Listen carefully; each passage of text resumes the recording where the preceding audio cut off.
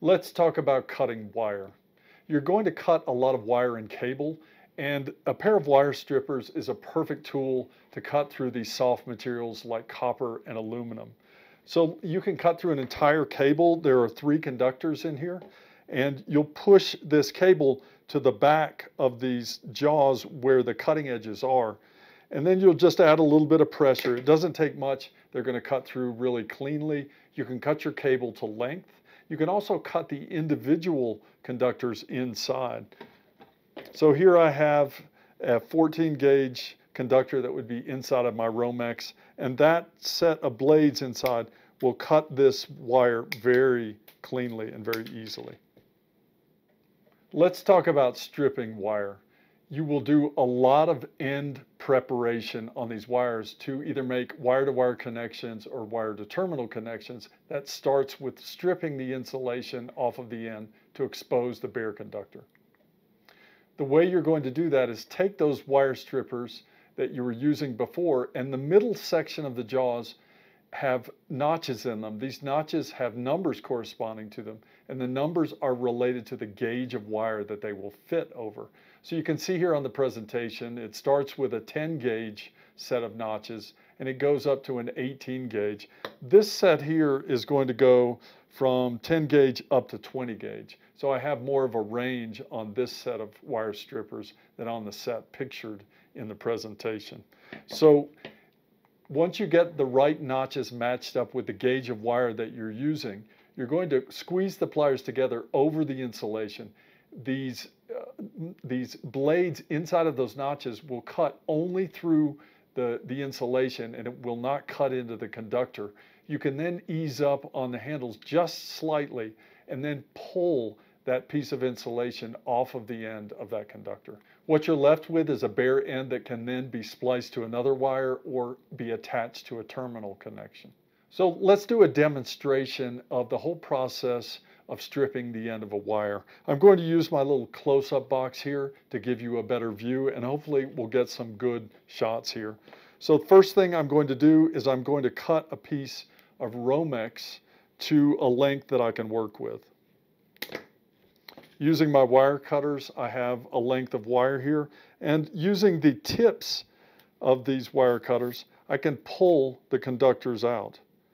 Don't forget the third purpose of these wire strippers is that they also can bend and pinch wire. So they're good for reaching small things like these conductors. So now I have a conductor. It has insulation all the way to the end. I want to expose, say, 5 eighths of the end of this conductor. So I'm, I know that I'm working with 14 gauge wire. It's important that you're able to identify the gauge of your wire so that you can then match it to your wire stripper notches. So I'm going to line up the 14 gauge notches right on my wire and I'm going to pull them tight it has, you can even feel it cut through that insulation. Now that it's cut through, I can ease up on the handles just a little bit to give it clearance to pull off. And now I can pull that insulation off.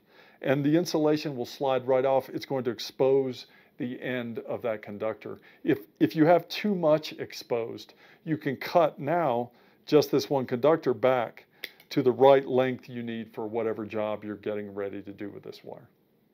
So let's repeat that whole process on the other end of this wire.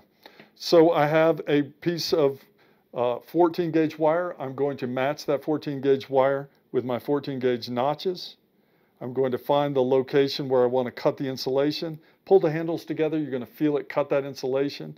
You can ease up on the handles a little bit. And then as you pull the insulation away, it's going to slide off of that conductor. Now I've exposed my end if you see me struggling here, I'm not used to working in a small space like this with in this box. So this should be a little easier for you if you're not working for the camera. Let's talk about wire-to-wire -wire connections. What we need to do is once we have stripped the ends off of these wires, we know we need to connect all of them together. So we're going to hold them very close together with all of the ends even. And then we're going to twist them together using our lineman's pliers. This is a, our wide jaw pliers. We're going to grip the very ends of all of the conductors and twist them all together evenly. As you see here, I'm twisting together three different conductors and you need a nice tight bind between all of those conductors. Once you get them bound all together very tightly, there's no movement, you can then clip the ends off evenly. Now you're ready to put on a wire nut. So let's go ahead and do that. I'm going to start demonstrating only two wires. It's, it's often that you're going to connect multiple wires. It could be anything from two wires on up.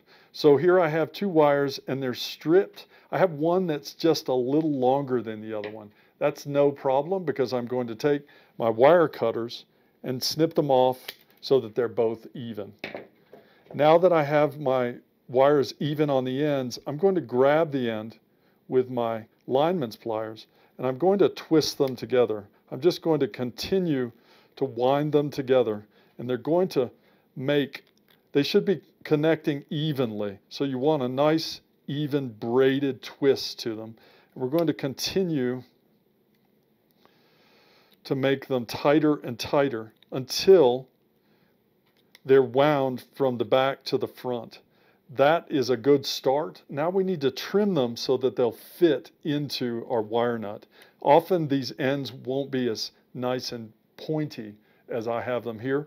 So it's always a good practice to then trim them off evenly at the end. Now we're ready for our wire nuts or our wire nut. It's only now that we can put this wire nut on. I've seen many times people try to clamp wires together loosely and then use the wire nut, you cannot guarantee that that process will work and keep these wires secure. So now that they're tight, now I can put on my wire nut and I'll twist it in the same direction that I twisted those wires together. And when I see the insulation start winding tighter, then I know that I've got a nice connection there. So I have a tight connection from my wire nut to my conductors and I know that that is going to be a nice, solid, permanent connection. The more wires you have to twist together, the more of a challenge this will be to do it. Here I have three conductors. They're all the same. This is a 14 gauge conductor, and I need to twist or splice all of them together. You want them as close together as possible. You want all the ends even, and you need them together to the point that we can grab them with our lineman's pliers. So I'm going to hold them tight as a bundle, grab them at the end with the lineman's pliers, hold them very tightly, and then I'm going to start twisting them together. And you want to make sure that you get a nice even twist on these. That is the challenge, and it's the way that you're going to end up with a very good connection. So you can make some adjustments and twist them until you get a nice, even, tight bind of all of them. If you have one conductor in the center and the other two twisting around it, that's not ideal and you're going to end up with problems. So make sure that they're all twisting around evenly. So once we get them twisted, we can clean up the end by cutting them. Don't forget about your cutters in the backs of your lineman's pliers.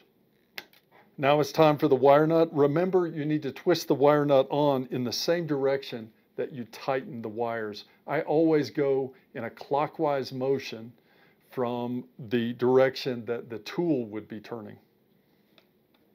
And keep in mind, you're going to twist them as tight as you possibly can. You'll know you're done when you start to see the insulated jackets of the conductors start winding around each other. You can always give it a pull or a tug at the end to test it. Now we have a good connection of our three 14 gauge wires.